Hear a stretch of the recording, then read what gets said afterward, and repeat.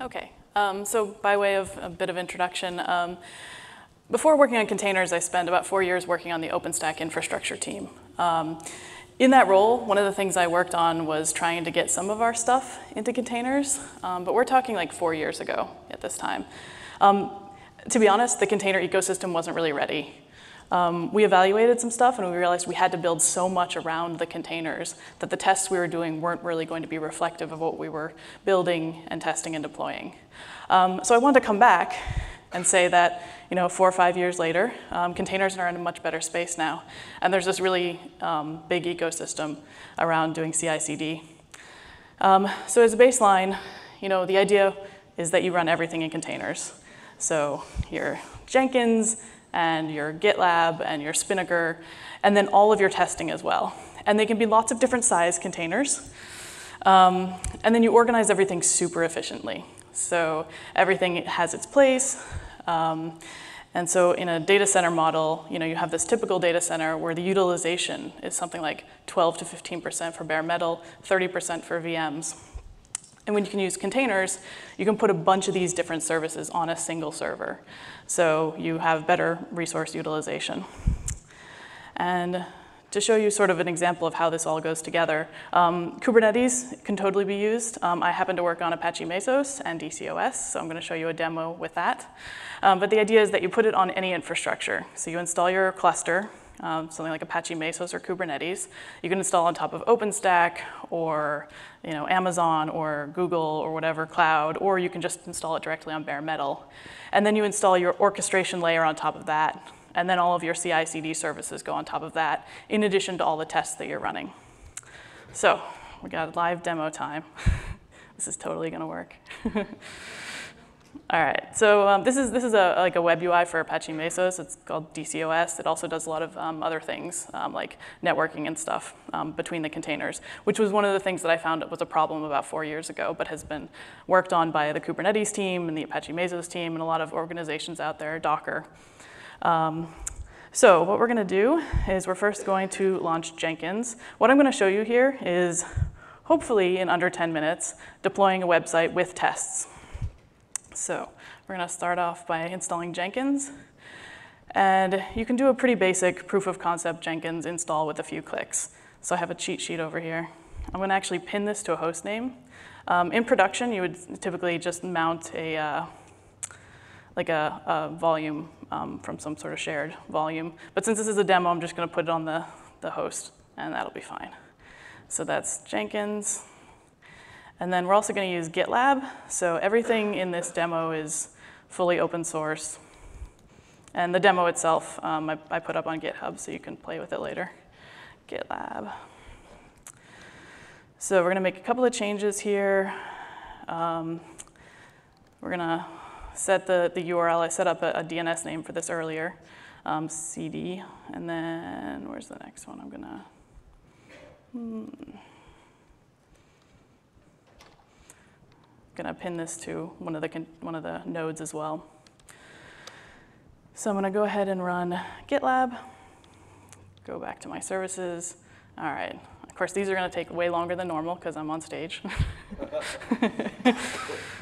um, so these are deploying. So what, what's happening now is Jenkins and GitLab are being deployed into containers. Um, and then that should be up soon.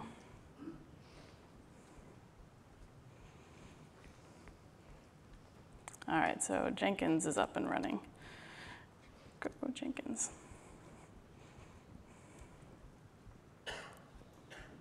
Yeah, okay.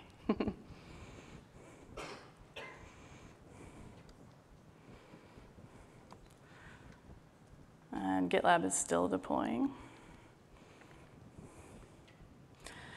Um, so the only thing I did before this demo to prep things um, was I set up the, the Mesos cluster, um, and then I allowed the Docker agent inside of the Mesos cluster to accept insecure registries, because there was no way I was going to set up SSL certificates on stage. Um, okay, so what we want to do, I actually, I actually have to make a change in Jenkins itself, because I also need to tell Jenkins um, that it has to run with insecure registries. Um, so where's the configure system?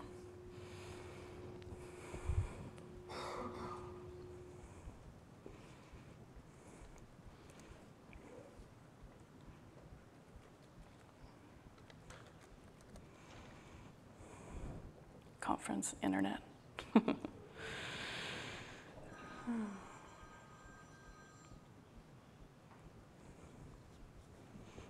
All right. So I have to really dig into the configuration here in Jenkins to set this up. All right. okay, so Jenkins is all ready to run things without SSL certificates. So if anyone's like logging into this URL right now, I'm in big, big trouble. uh, so come on, GitLab, what are you doing? All right. Mm. Alrighty, so.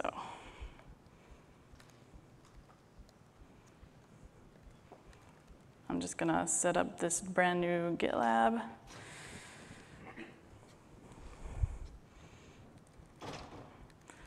I'm gonna run everything as the root user in GitLab because it's a demo. Don't do this.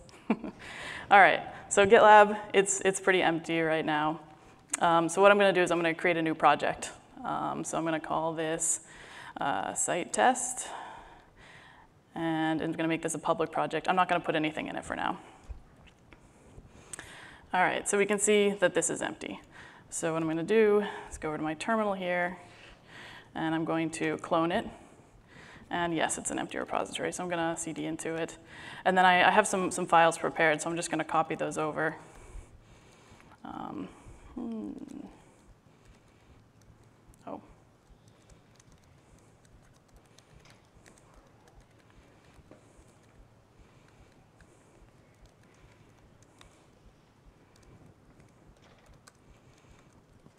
All right, so we've got a Docker file, an index.html, which is the site that I'm actually going to launch, a Jenkins file, and a Marathon file. Marathon is the schedule inside of that runs on top of Mesos.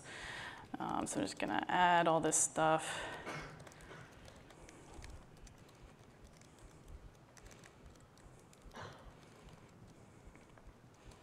I'm just going to push it back up.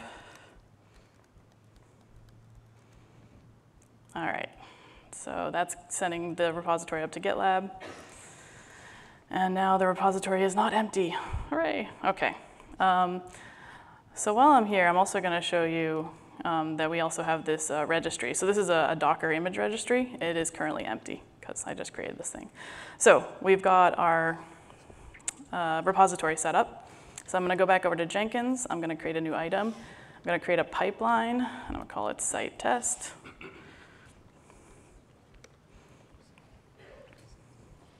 How are we doing on time? Oh, okay. All right, so we're gonna we're gonna we're, uh, where is this? Uh, so um, I'm gonna pull this from an SCM Git. Actually, I missed a part here. Uh, I have to look at my notes. so the section I want here is the build triggers, right?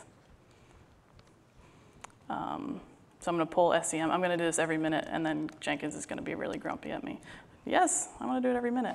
So grab the repository URL, which I can grab back over here.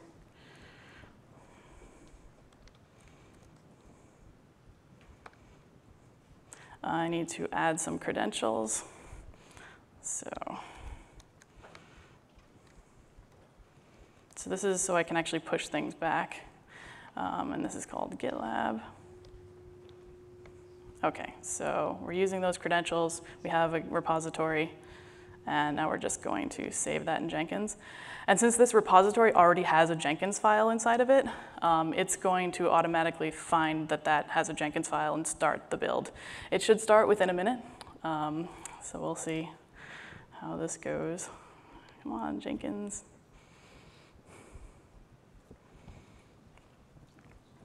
Uh, well, that's working. I can actually show you the, the the Jenkins file. Um, so I mentioned everything here is running in containers. So it's a pretty simple Jenkins file. Yeah, it's less than 60 lines. And it's actually just a series of Docker um, commands, essentially. So it grabs the credentials from GitLab and it pushes an image and everything. All right, so we actually have our job running now. That's exciting. All right, let's see what it's doing here. I'll make this a little bigger here. All right, so what it's doing now is it's going out to the Mesos cluster and just finding a place to run all of these Docker commands that I told it to run. Um, so I didn't have to set up an external cluster. It's using the same one that GitLab and Jenkins is running on. Um, you might not want to do that, um, but the idea is that it actually reaches out using a Jenkins Mesos plugin. Um, there's also a Jenkins Kubernetes plugin, and I think there's also one for Docker Swarm. So again, like it doesn't matter what platform you're using really, um, but I happen to work on this one. So it got stuck here once when I was doing this demo. Yay! All right, so it, uh, it's checking out their code repository. Um, and actually I can go back here and we can see our little stage view here. In a perfect world, this would be like five checkboxes of green really soon. All right, so it was able to check out the code repository that I gave it. It's now building the Docker image. And then once it builds the Docker image, it's going to push that up to GitLab um, into the repository. The um, registry that I showed was empty. Hmm. So it has to like download the Nginx uh, thing image that it's trying to run on.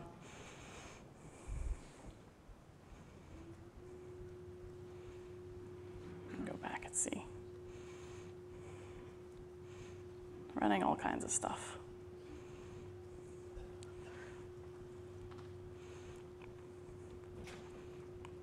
All right, so it's now publishing the image to the registry. And once that's done, I can come back over here. All right, so it created the directory. It doesn't have an image yet. It's uploading it.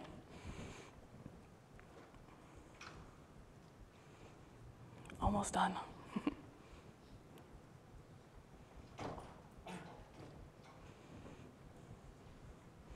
All so I'll look back here.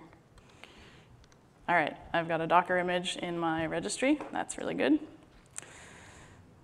And then it actually deployed the system. So if I go back to my DCOS UI here, I now see a site test thing here, and this is the website deployed.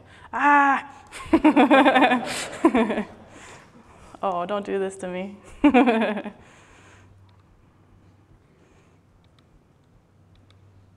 okay, that's just sad. Wait, why is it linking to GitLab? Uh, I know what I need to do. Hey, there we go. okay, so the site is up now. All right. Uh, I'm out of time, but I just want to show you just, if I just say,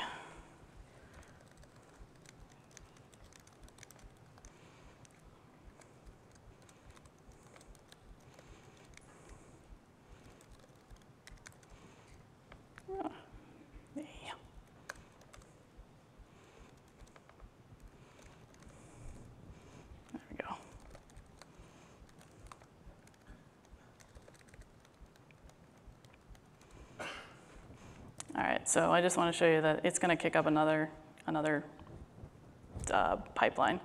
But that might, oh yeah, so there it goes. So I just pushed another commit to Git, and it's just going to run through this all again, and then we'll see a new website being deployed. Um, the test that it did, it, it, just did a link checker against it. Um, so it just looked at, it ran some Docker um, commands to just run, make sure all the links were working on the website. So yeah, that's your demo. Thanks.